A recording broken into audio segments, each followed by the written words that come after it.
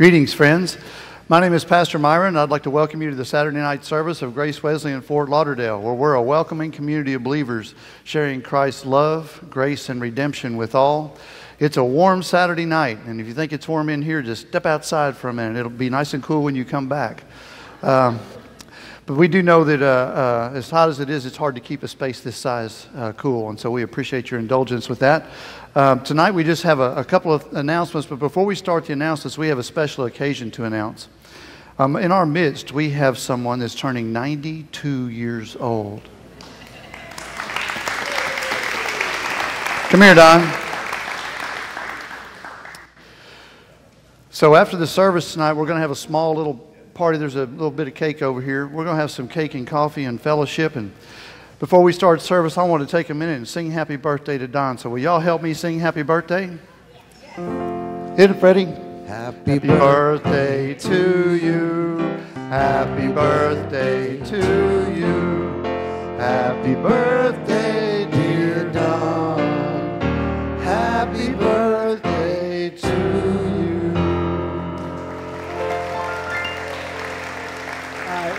thank all of you from the bottom of my heart, but I'd like to know where you were at before the first 91 Muse.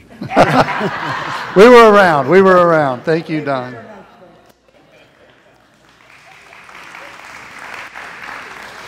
You know, we want to celebrate those things in our midst because as family, uh, we have these celebrations and then we have also the celebrations of life that we had Friday with Mary Jo, and uh, many of you were there. And uh, I just want to let you know that it was a nice, heartfelt send off for the family uh, for Mary Jo, and, and uh, it, was, it was a very good time, actually. And uh, thank you all for being there. This week, we have a regular events Monday night, uh, men's group, Tuesday night, pastor's Bible study, and Thursday night's a council meeting. So at 7 o'clock, we'll have our council meeting down the sanctuary. Everyone is invited to the council meeting. Uh, just council members can vote, though, but we're transparent and all of the congregation is invited. Now, remember, we have elections coming up in September, and we had five slots to fill. So if there's anybody that has a burning desire left, let me or Fred know, uh, and then we'll go from there with it in September. At this time, let us go to the Lord in prayer.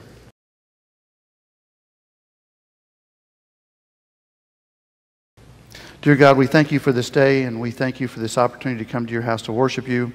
We thank you for new faces and old friends that have come to visit. And Lord, we ask that you send your Holy Spirit to dwell in our hearts and to open our hearts and minds to the message that you have uniquely for each one of us. Enliven us, Lord. And as Freddie leads us in praise, hear our hearts as we sing to you. We ask these things in Jesus' precious name. Amen.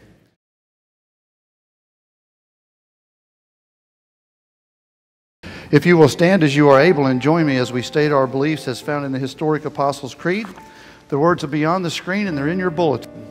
Let us state our beliefs. I believe in God the Father Almighty, creator of heaven and earth. I believe in Jesus Christ, his only Son, our Lord, who was conceived by the Holy Spirit and born of the Virgin Mary.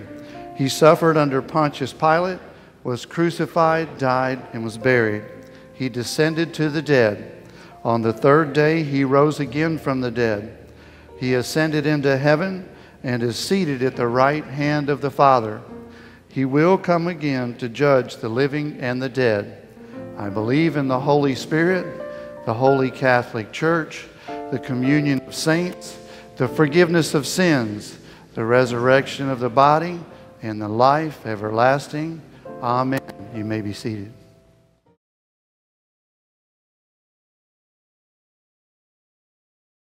Good evening.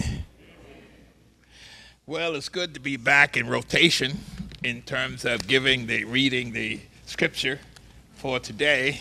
This evening, the first reading is taken from uh, the book of Ecclesiastes. Now, the book of Ecclesiastes is wisdom literature, a genre of writing that was widespread in the ancient world. As such, it is intended to give instructions about life. However, it is often raised as many questions as it answers. In the case of Ecclesiastes, the answer given are sometimes more troubling than the questions raised.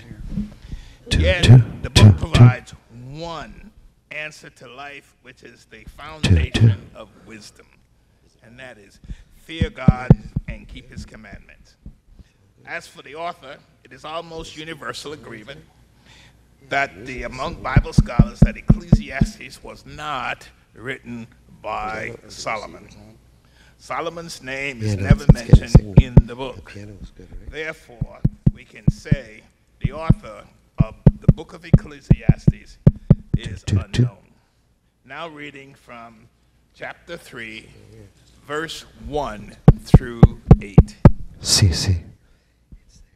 There is a time for everything, a season for every activity under heaven, a time to be born, a time to die, you want me to switch? a time to plant and a time to uproot, He has mine.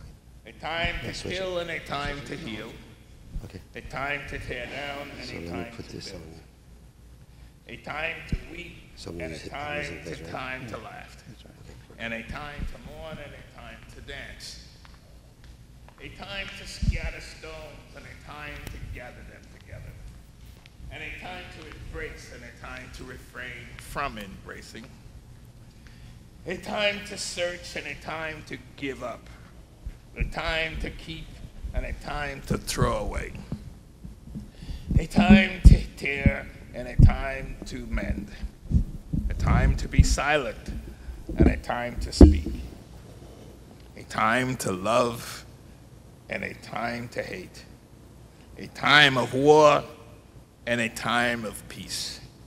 Here ends the first reading of the Word of God for the people of God.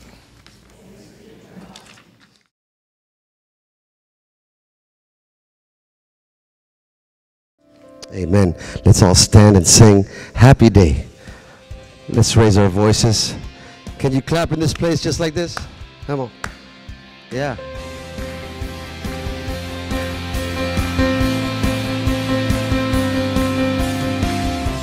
Gray in history. Death is beaten, you have rescued me. Lord, Jesus is alive. Empty cross, the empty grave. Life eternal, you have won the day. Shout it out, Jesus is alive. He's alive.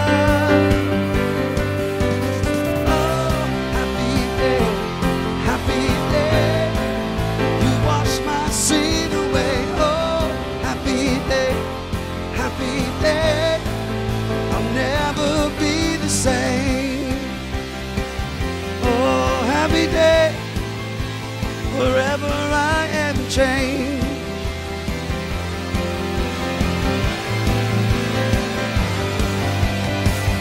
And I stand in that place, free at last, meeting face to face. I am yours, Jesus, you are mine. Endless joy, perfect peace.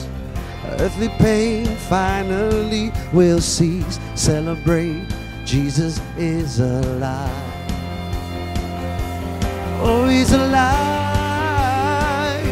We say, Oh, happy day, happy day. You wash my sin away. Oh, happy day, happy day. I'll never be the same. Forever I am changed.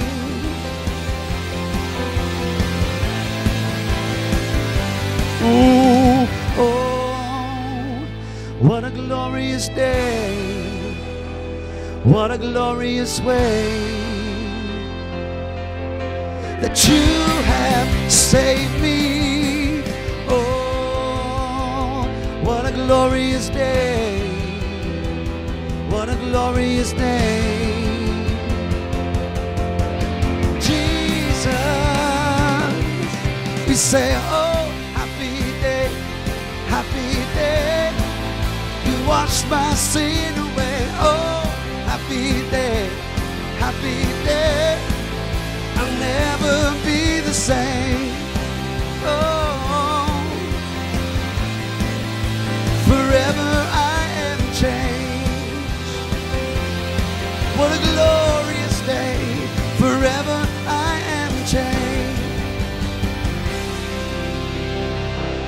Amen. That's right. You may be seated.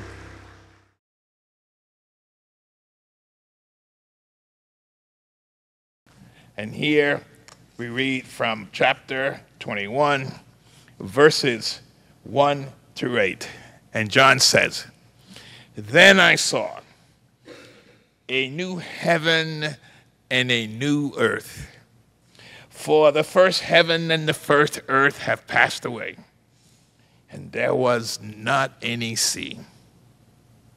I saw the holy city the new Jerusalem coming down out of heaven from God, prepared as a bride, beautifully dressed for her husband.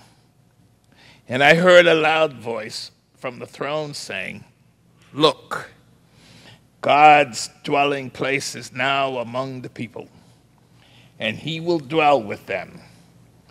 They will be his people, and God himself will be with them and be their God.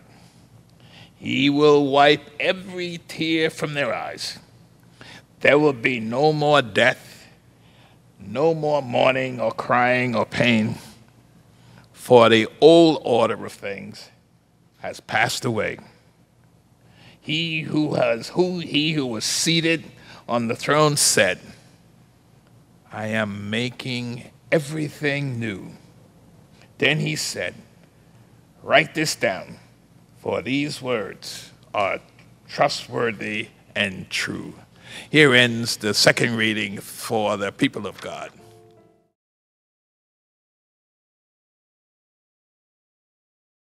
Why don't we stand and sing about his goodness? I love you, Lord, for your mercy never fails me. All my days I've been held in your hands. From the moment that I wake up till I lay my head. I will sing. You guys sound better than me. Yeah, all my life. All my life you have been faithful. And all my life you have been so, so good. Yeah. With every breath that I am able, I will sing of the goodness of God. I love your voice. You have led me through the fire in darkest night. You are close like no other. I've known you as a father. I've known you as a friend. And I have lived in the goodness of God all my life. All my life you have been faithful. All my life you have been so, so good.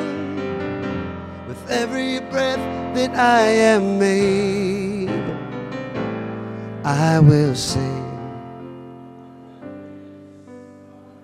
Yeah. Your goodness.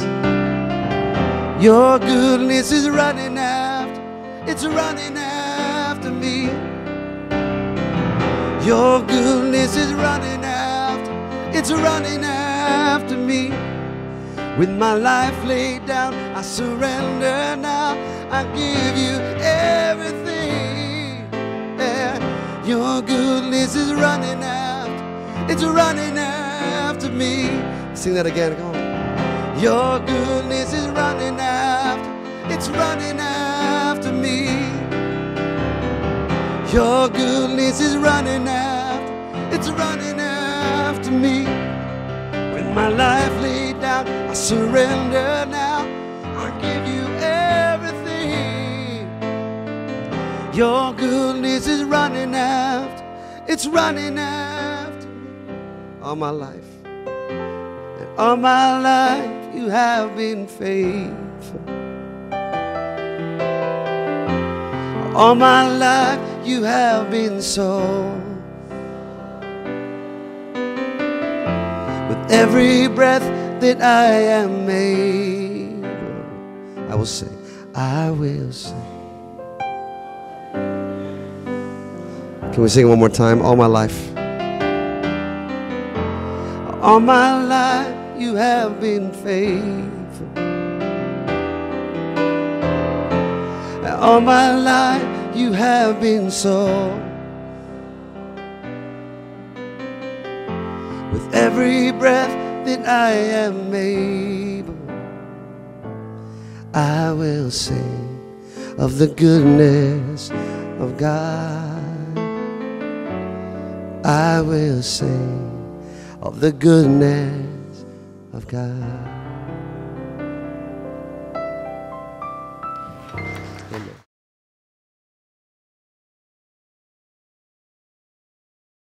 Thank you, Freddie. Friends, let's pray for our offering. Dear Lord, we thank you for all the ways in which you meet us at our need and for all the times when you're there before we even get there. Lord, at this time we offer back a small part of what you first gave us. We ask that you accept these humble gifts. And Lord, I ask that you bless these gifts and bless the givers and multiply them both here at Grace Wesleyan. Lord, may the meditations of all of our hearts and the words of my mouth be pleasing unto you. In Jesus' name, amen.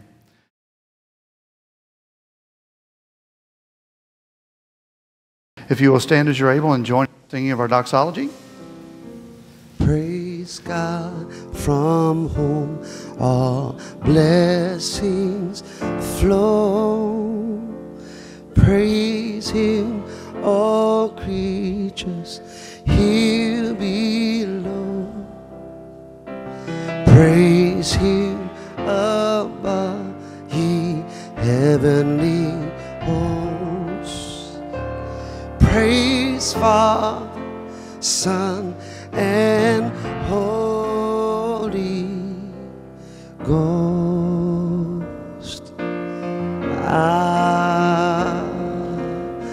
Amen. You may be seated.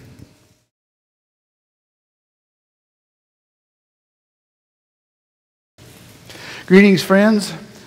It's good to see new faces and old familiar faces and friends that have come to visit. Welcome y'all, Bernie and Don and, and the Jesselson family here. Does everybody have their gear? Yes, sir. Did the people who didn't get one last week get one this week? Did we run out? We started with 100. I ordered some more this week. Sharon, did we run out? There's more on the table. If you don't have one of these, get one because this is what we're doing right now. Go do love together, the gears. I'll explain those in a minute. But we want everybody to have one. Put them on your king. I was busted Monday night. Showed up for men's group. Jack Maitland whipped his out on his key ring. He said, Look, Pastor. I said, That's great, Jack. He said, Where's yours?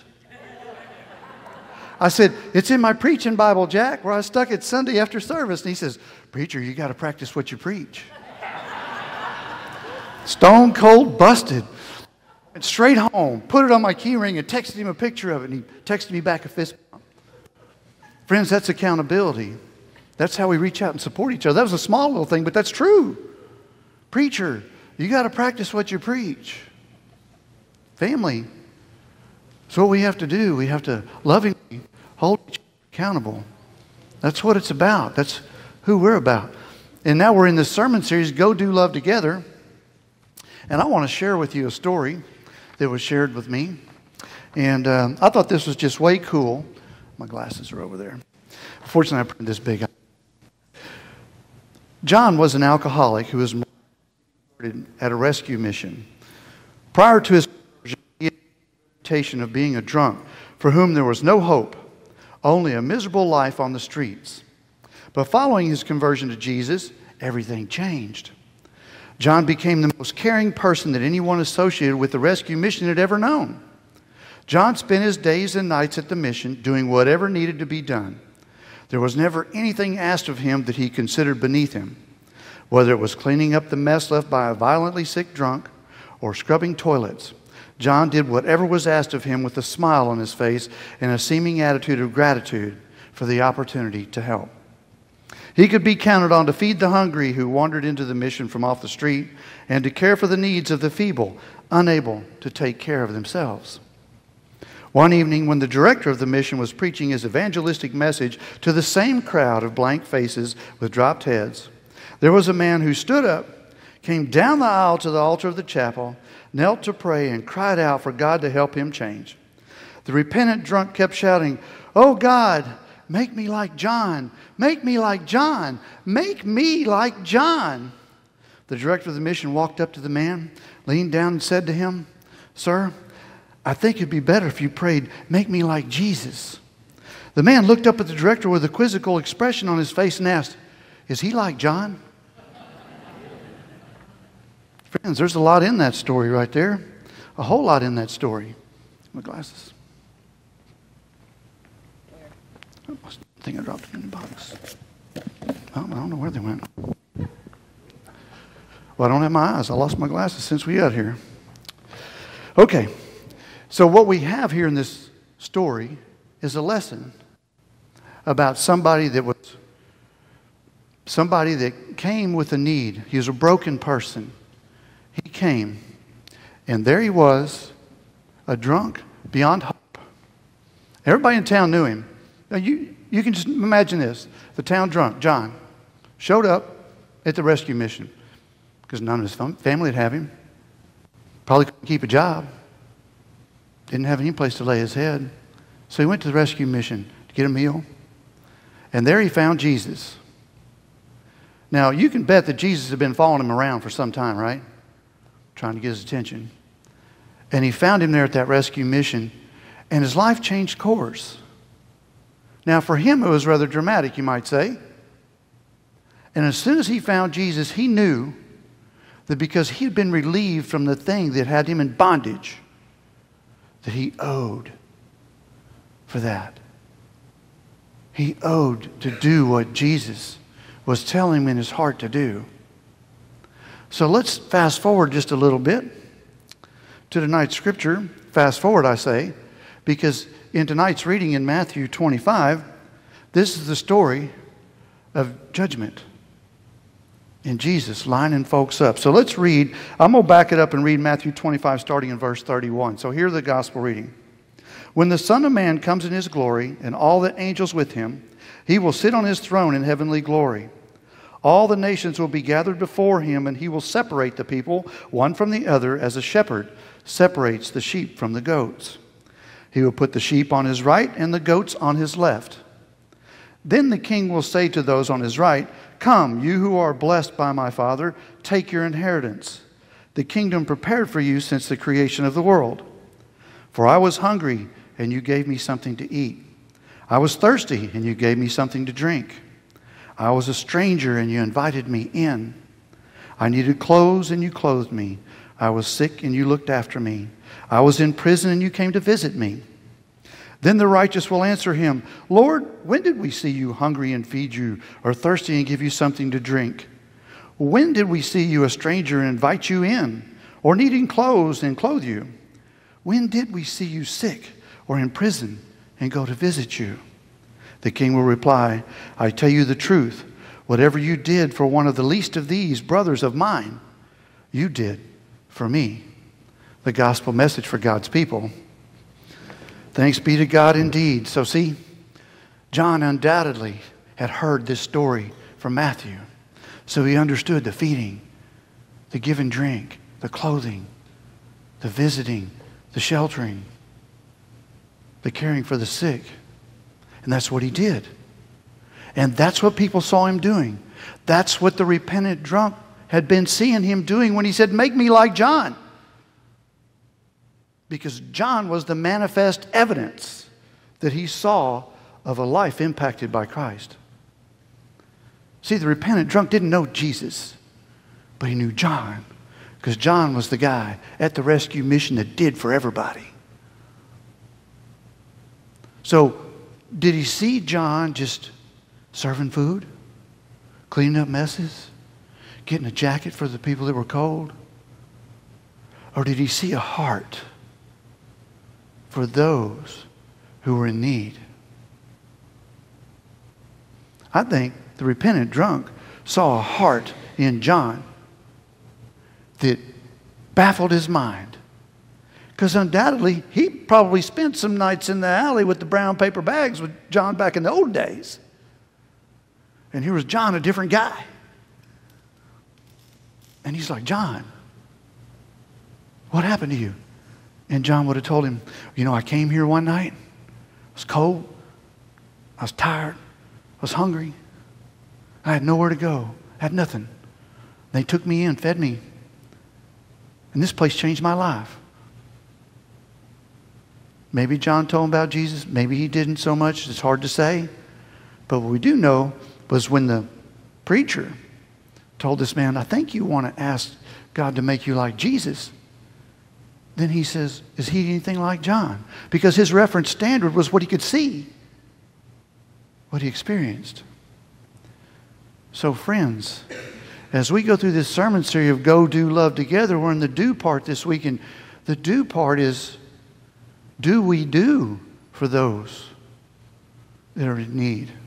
Now, just for the record, we do sponsor up the, the backpacks and we do the stuff for the kids that are families are maybe struggling a little bit and can't afford all that for their kids. So we help out. We have the food pantry. We bring food for the people who are hungry. We support Hope South Florida that provides a lot of things for the homeless in our community. But in our modern day and age, it's gotten real easy for people to. You need a check? I can write a check. I can give. I can give a couple hours of my time. I can go down and serve some meals. I can haul the backpacks. I can go work on some people's houses. I can gather up some food. That may be all good and fine, and that may be what we can do. But to the people that see us doing that kind of work, are we like John, where they see us as somebody that's so different than everybody else that they want to be like us? See, that's our real challenge as modern day Christians. For all of our praying and Bible reading and worshiping, sometimes we don't carry out what we hear in here and what we learn in Bible study and what we do in our personal study time that with us when we leave the house or we go out and we're at the store, driving down the road, whatever we're doing. We don't always carry that spirit with us. We don't always show evidence of that where we go. John did. Now, granted, he had a small little life there because his life was at the rescue mission, but the impact of it can't be ignored. It can't be ignored. So, what are we going to do as part of our do? See, we already do some things. Like I said, we do some things as a church. We, as a community, we contribute, we serve, we do this and that. But I think that the scope of that work is much too small. Because, see, we think of the poor as people that maybe don't have a place to live, or they're living in their car, or they have to scrape for their food, or maybe they don't have very many clothes to wear. We think of that as the poor. But John Wesley tells us there's another poor that we need to be mindful of. That's the poor in spirit, the people who are broken.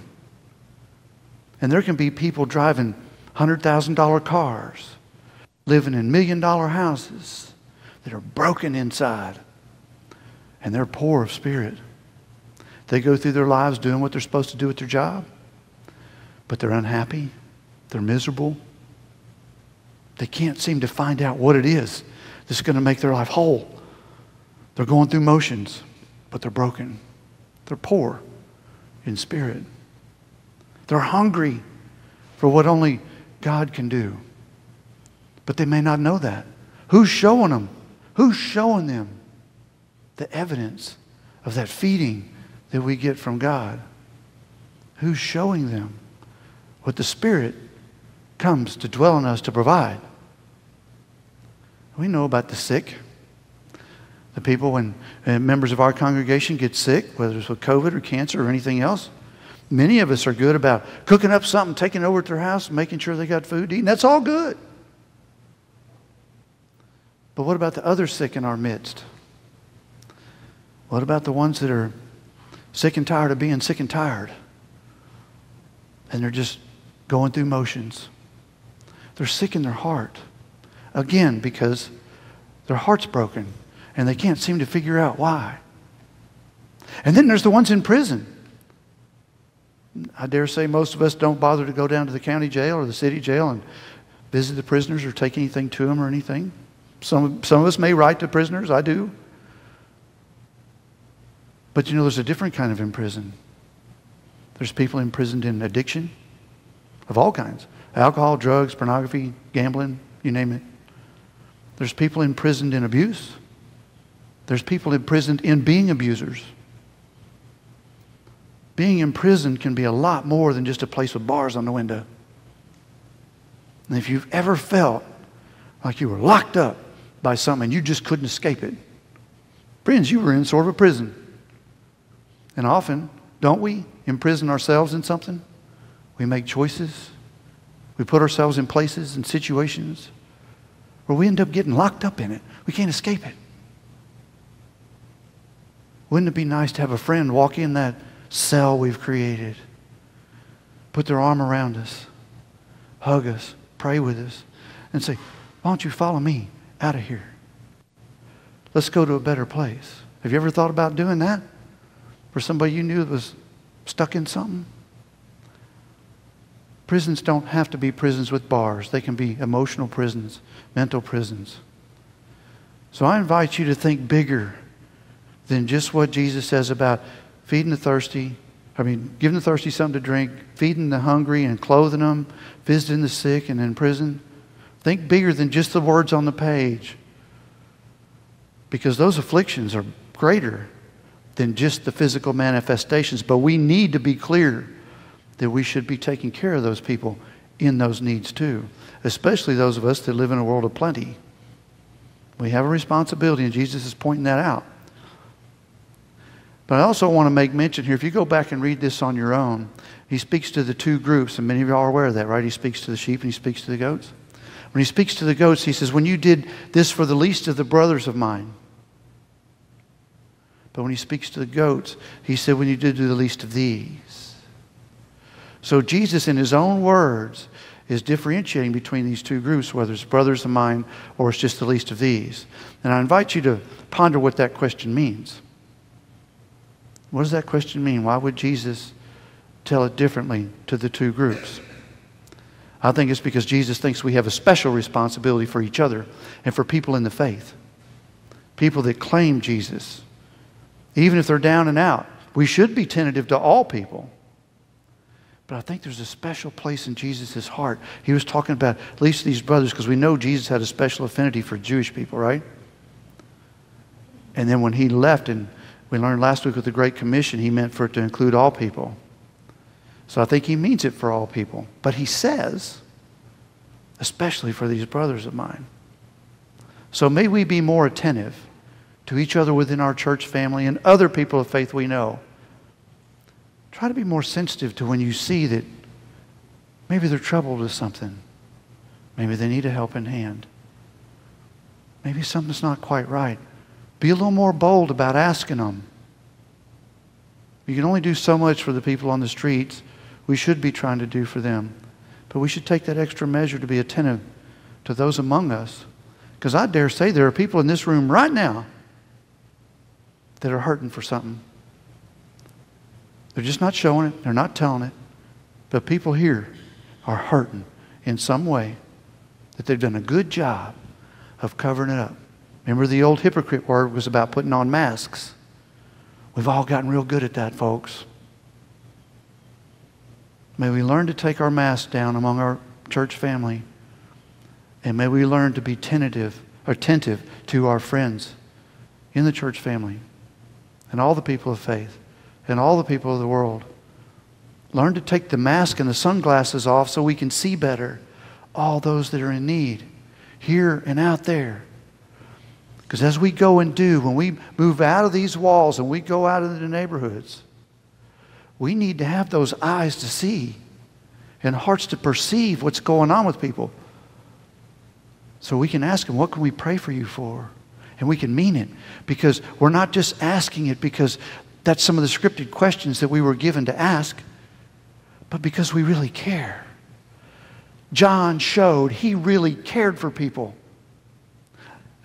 Anybody that's going to get down and clean up a mess that a, a sick drunk makes is really humbling themselves, folks. And John demonstrated that in the rescue mission. He demonstrated a caring, a verifiable difference.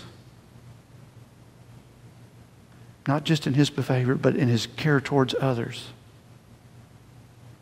May we be more able to do that. So this week, as we look at our gears, we think about what is our part in God's machine. Our part's to go do. And Jesus defined who we do it for the thirsty, the hungry, the naked, the sick, the imprisoned. We're supposed to do for all them. And we're supposed to do it from the heart. May we do it like John in the story. May we make that kind of impact where people say, I want to be like them. And when they come to us, say, I don't know what you got, but I want some. Say, well, let me take you to my friend Jesus because he's got a truckload ready to give you. Because that's what it's about, friends. As we go and do. In the name of the Father, and the Son, and the Holy Spirit. Amen.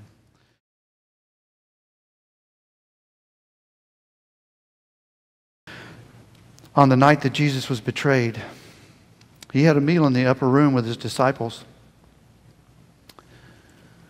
And at that meal, he took the bread. He lifted it to heaven and he gave thanks to God for it. Then he blessed it and he broke it. And he offered it to his disciples and he said, This is my body broken for you and for many for the forgiveness of sins. Each time you eat it, do this in remembrance of me. At the end of the meal, he took the cup of wine. He raised it to heaven and gave thanks for it to God. Then he blessed it. And he offered it to his disciples, and he says, This is my blood shed for you and for many for the forgiveness of sins. It's the blood of the new covenant. Each time you drink of it, do this in remembrance of me. So, God, we ask that you send your Holy Spirit to make for us this bread and juice the body and blood of Christ, so that when we partake of it, we might be the body and blood of Christ to the world. We ask this in Jesus' name. Amen. Friends, as Wesleyans, we practice an open table because John Wesley believed that the Lord's Supper was for everybody. Jesus instituted it for everybody because he came for everybody. So we have an open table. For those of you who wish to come partake, we will do it by intinction. If you prefer to serve yourself, we have the the cups with the wafers built in. And Fred, if you would come and serve those. If you choose to take of the cups and wafers, Fred will come around and bring those to you. Just stay in your seat. But if you would like to partake of the Lord's Supper, please come forward, form a line. We have the cups and the wafers that are consecrated now. If you know a shut in, would like to have communion, if you want to take it to them, feel free to come after the service and get whatever you need of these and take them to go serve them because they've been consecrated and they're ready to be served to somebody now. We want to be able to offer that to people that maybe can't make it to the service.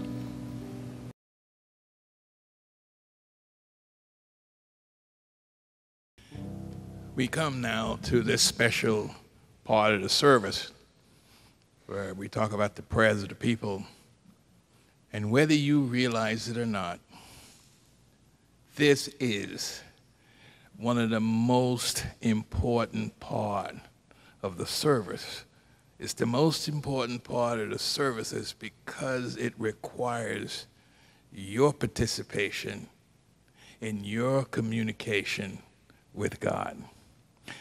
Now, I deem that a privilege as your lay leader to assume the responsibilities of conducting the prayers of the people at our worship services. Let us give thanks to Dr. Fred Scarborough for a job well done.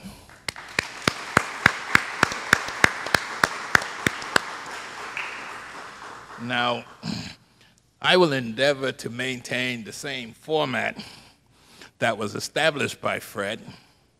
However, there will be an addition, an additional element that I will be implementing. Prior to us going to the Lord in prayer, I am going to extend an invitation to you to come before the altar to give God your prayers. So, as the Spirit moves you, please come forward. Now, one last point, and I think uh, Pastor mentioned it just a minute ago. We are a praying church, and it's important for you to make sure that you share with us those issues, those thoughts that you have that needs to be shared with the community so that the prayer warriors that we have in our church can pray for you by name. Not some general prayer, but to pray for you by name.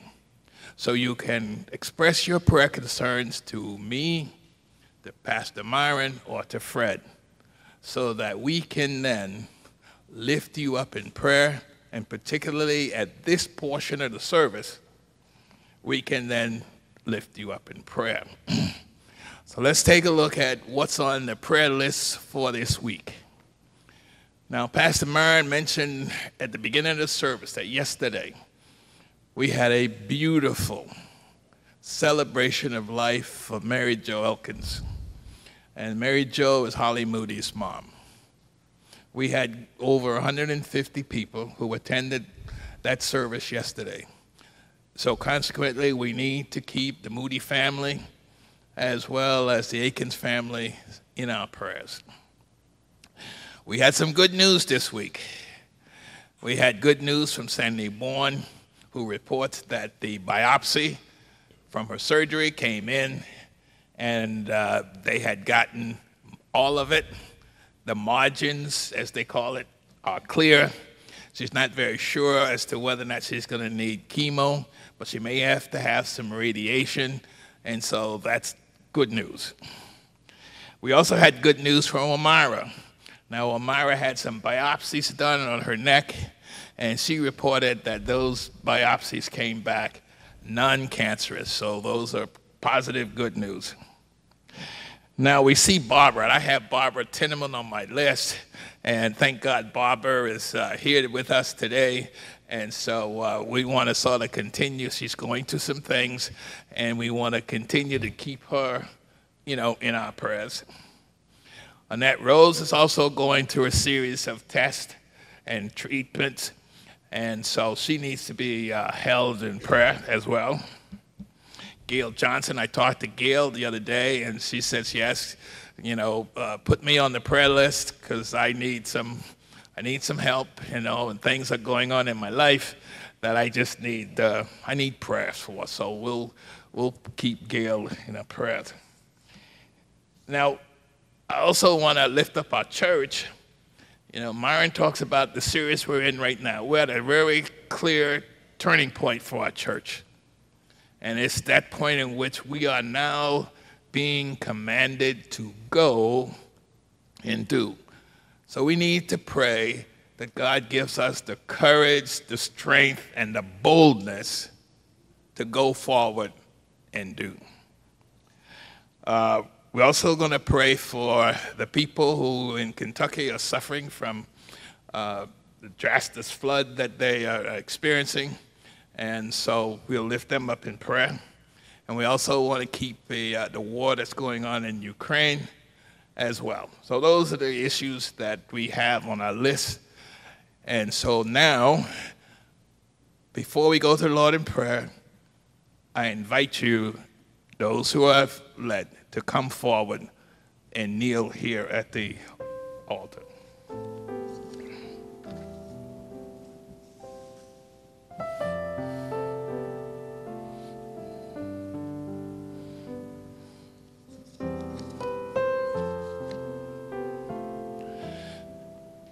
Let's go to the Lord in prayer. Let's take a deep breath and take the Lord in. Heavenly Father, we come before you this evening with humble hearts. And we turn to you with our prayers and our concerns. Father, we are concerned about those individuals who are experiencing the loss of a family member, who are going through a period of grief. Father, we lift them up to you and we ask you pour your Holy Spirit upon them and, and bless them as they go through this time in their lives. Father, we give thanks for all the blessings you have bestowed upon those who have gone through health issues and concerns. You have blessed them with some positive, positive news about their health. And Father, we know that all good things come from you. And so we give you thanks and praise for what you've done in the lives of those individuals who are experiencing good news this week. Father, we also ask those who are going through some difficult times in their lives and going through various kinds of treatments and tests and everything else that uh, they have to endure. So we ask you to be with them and strengthen them as they move forward, put their trust in you, and comfort them. Father, we now say that we are now at a point in our church that we must then do what you've called us to do, and that is to go and do. So, Father, we just ask that you give us the strength and the boldness to step forward and be ready, willing, and able to do the work you've called us to do. And Father, we pray for all those individuals who are in Kentucky who are basically struggling as a result of uh, that awful flood that they do. They've lost lives, they've lost their homes, they've lost everything. So comfort each one of them, O oh Father. Let them know that you are there. You are there and they should have no fear because God, you are in control of everything and you will continue to uh, keep and bless them. So we ask that in your name. And Father, don't forget, we're constantly praying for those individuals who have been suffering through war for almost close to a year now. We pray, Father, that there be a way for this war to end and so that the suffering can be ended. So, Father, we just ask these things in your name. And as we come to that point where we pray the prayer that your Son Jesus has taught us to pray, Our Father, who art in heaven, hallowed be thy name. Thy kingdom come, thy will be done on earth as it is in heaven. Give us this day our daily bread and forgive us our trespasses, as we forgive those who trespass against us. And lead us not in temptation, but deliver us from evil. But thine is the kingdom, and the power, and the glory forever. Amen.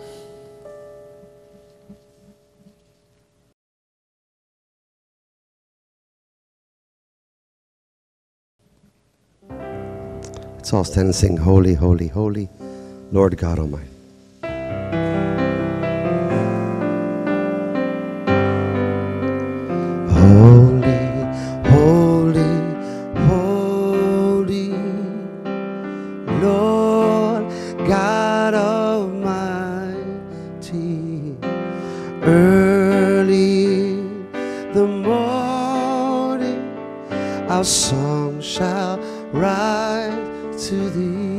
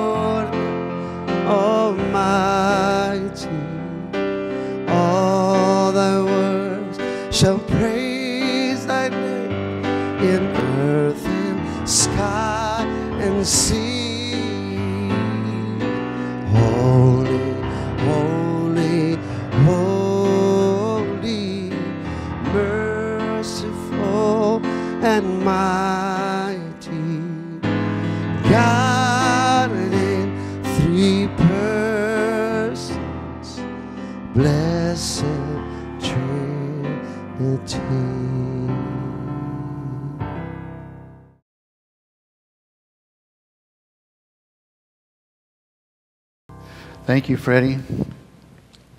Friends, after service, we've got a large cake over here to eat, so we need all y'all to help.